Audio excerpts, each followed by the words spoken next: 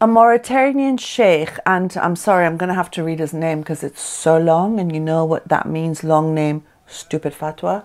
Sheikh Ahmad, a Walid, Il Murabat, Walid, Habib, Ar Rahman, very, very long name. He has basically said that if a male marries a female jinn, which is a supernatural being, it's okay. But if a woman marries a male jinn, it's haram.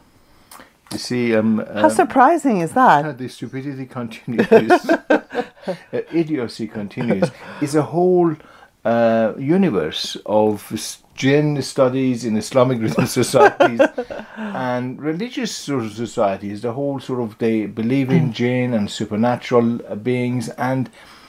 Even you know we don't have to worry about that. But the, the even fact that so- e- even in those sort of uh, Yeah, exactly. universe, discrimination. It's anti-woman. a woman can't do it, but a man is free even to marry a jinn. Aren't you men lucky? Yes. You must be running out now looking for the closest jinn you can find. Add it to your four, five, six wives. Oh, whatever. Temporary, permanent. Yeah. Enjoy. Enjoy.